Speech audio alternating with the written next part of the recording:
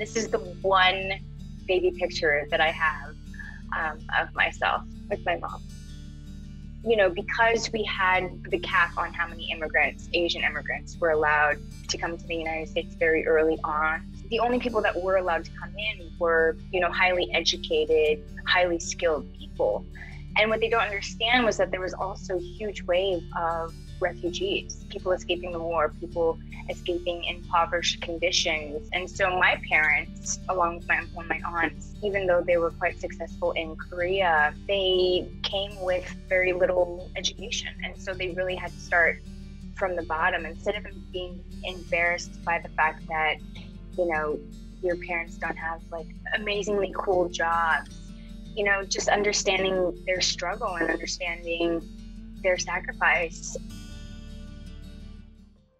this is a photo from my high school graduation. I, I did realize how special and unique that situation was um, going to school with and growing up in a city with a majority Asian community. You realize like how underrepresented you are. I can distinctly recall growing up with such limited characters um, and still wanting to be in the business not being discouraged by that at all not being discouraged by it until you actually get in it and you realize how limited the opportunities were and you know the types of roles that were available to people who look like us.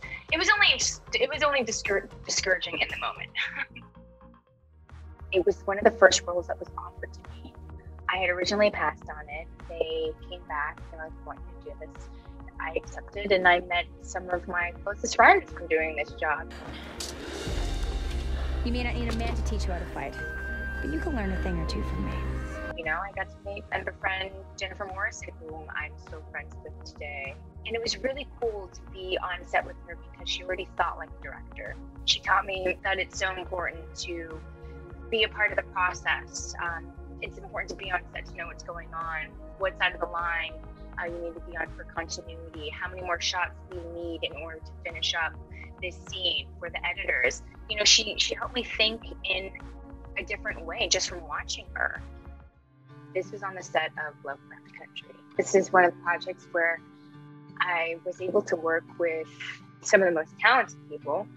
Um, one being Michael K. Williams. And what that person taught me was that everything mattered. Everyone mattered. It's how you make that person feel is what matters.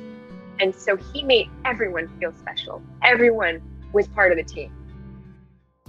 It was a dream to go to Italy with my husband. It was a dream to go to Pompeii. This is, this is where the photo was taken. It was a dream to go and travel the Amalfi. There's so much history in Pompeii, and to be able to have all of that information on my phone with an app with Scribd, I, it was it was a fun way to rediscover novels um, that you know, kind of romanticized that part of the world. Te- the technology is really is really incredible, and I do think that we take that for granted sometimes.